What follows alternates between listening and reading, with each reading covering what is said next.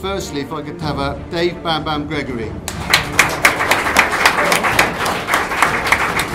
There are, there are some bios dotted around the room, but Dave's 38, weighs 108 kilos, 17 stone, 5 foot 11, 8 white collar fights and MMA fights and 5 wins, and he's the current Neilson Promotions heavyweight champion.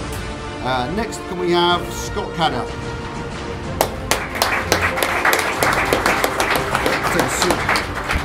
Uh, Scott's 26, weighs 115 kilos, 18 stone. He's 6 foot 5, had 40 amateur and white collar fights with 35 wins.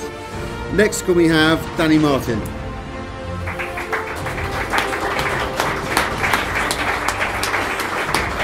Danny is 26 years old, weighs 108 kilos also, 6 foot 4, 17 amateur and white collar fights with 15 wins. Uh, we can have Stewart Johnson. Stewart's 30 years old, 108 kilos, 17 stone, 5 foot 9, 25 amateur and white collar uh, with 18 wins. Next can we have Rich Loveday. Uh, Rich, Rich Tank's 32 years old, weighs 105 kilos, 5 foot 9, uh, 3 MMA and 5 white collars with 4 wins. Next can we have Big Phil Williams.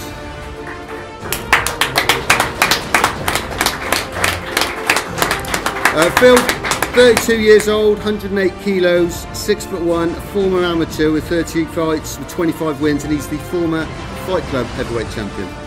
Uh, next we have Mark White.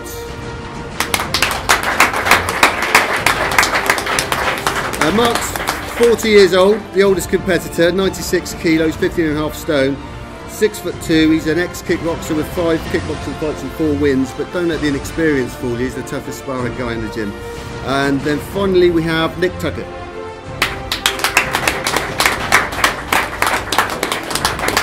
Uh, Nick is 26 years old, weighs 98 kilos, 15 and a half stone, he's 6 foot 5. Uh, he's got nine kickboxing, white collar, and MMA fights with eight wins. He's an ex-British and European Jiu-Jitsu champion, and we have got the pick of the heavyweights. You know, it's a two thousand pound prize. Winner takes all. We're putting on the table, and it's lured all the all the big big guys out. We're actually announcing this morning as well that we're going to have a knockout bonus of two hundred pounds per knockout as well, just to make sure none of these guys take it easy in the first round to save their energy for the for the final. But it's uh, you know there's there's some big guys. I know all of these guys have been around the fight game for a long time, and I've seen every one of them fight. A lot of them on our shows, knocking people over. So this is a great great time to see them all put, put it all together on one night. So I'm really looking forward to it.